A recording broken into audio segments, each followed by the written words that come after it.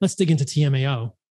So, the first thing that I wanted to start with is just background on what TMAO is and why the mainstream media and press is concerned about it.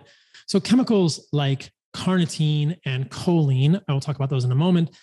I would say they are essential parts of human biology, very important nutrients for humans in general.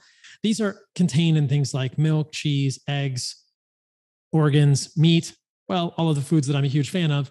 They go into your body. Here they have kind of an obese person. There's a little bit of perhaps subliminal messaging there. I would uh, redraw that person to have six pack abs, nice pecs, a good tan, and maybe some sun bleached hair. Uh, maybe they're a surfer, maybe they're just a rock climber, maybe they're just uh, a very healthy individual if they're eating all those foods. Uh, nevertheless, the, the association is not lost on me here. It is true that these compounds, carnitine and choline, get metabolized by gut microbiota and eventually form a compound called, called trimethylamine, which is then metabolized via an enzyme in the liver called FMO, uh, flavin monooxygenase, into trimethylamine oxide. Now, if you see this graphical abstract on the video, you'll see that the last part of this is that they are drawing direct arrows between TMAO causing heart failure, chronic kidney disease, heart attack, and stroke.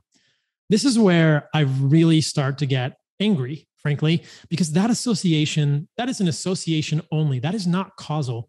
I am not familiar with a single study in humans, and I will repeat that. I am not familiar with a single study in humans showing the TMAO causes any of those things. And yet, in all of the literature I can find, well, that's not true. In 98% of the literature I can find, that is treated as if it is fact, as if it is canon, as if it is a truism. And that is very frustrating to me when the majority of the literature will not substantiate that causal link between TMAO and any of those things. And as you will see in this discussion, there's actually much evidence for reverse causality here, which means TMAO isn't doing that at all.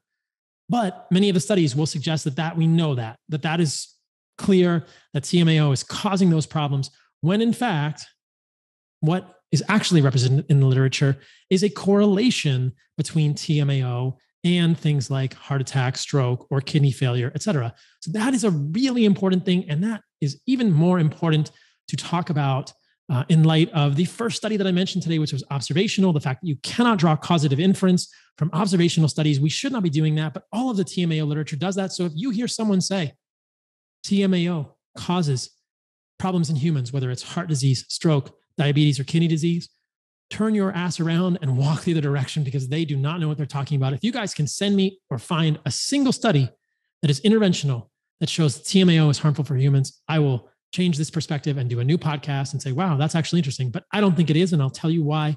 And I think all of the people that are out there touting and saying that it is harmful need to do the same thing. They need to promise you the same that when they listen to this podcast or when they realize that they are dead wrong, that they will admit they were wrong and turn tail with their tail between their legs and get out of Dodge because we do not need their bullshit nutritional ideology muddying the waters.